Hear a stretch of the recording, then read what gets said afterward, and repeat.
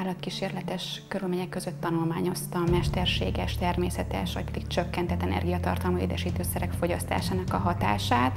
A mesterséges édesítőszerek tekintetében néztük, hogy befolyásolja a táplálékfogyasztás, illetve a folyadékfogyasztás mennyiségét, vagy hatással van-e a testtömegre. Ugye a mesterséges édesítőszerek közül a legellentmondásosabb az aszpartám. Az utolsó említett vizsgálatunkban pedig a természetes eredetű édesítőszereknek a hatását vizsgáltuk, hogy befolyásolják-e a daganat keletkezés során jelző kulcsgének kifejeződésnek az aktivitását.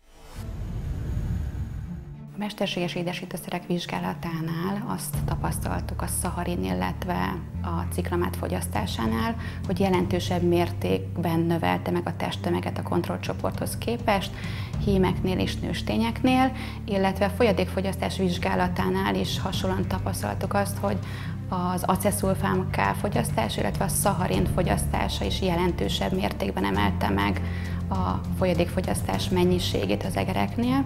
A természetes eredetű édesítőszereknél pedig Ugye ezek a gének egy korai jelző gének, amelyek jelzik, hogy esetleg a daganat keletkezése elindul. Ebben az esetben egy rövid távú kísérlet volt ugyan, de azt jelezheti, hogy ezeknek az édesítőszereknek szerepe lehet a daganatoknak a kialakulásában vagy alakulásában.